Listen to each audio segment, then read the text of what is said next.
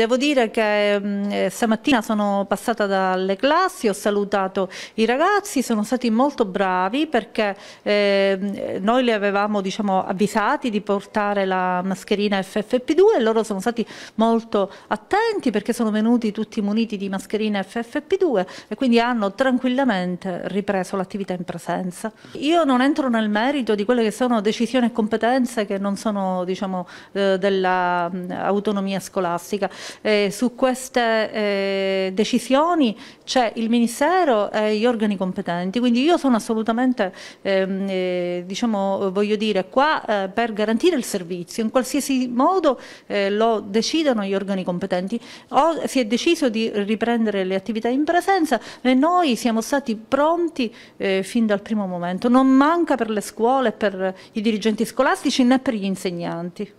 Il punto di vista degli studenti, si è avuto modo di ascoltarli un po'? Stamattina sono passata da tutte le classi, li ho trovati molto sereni e anche contenti di riprendere l'attività in presenza, devo dire.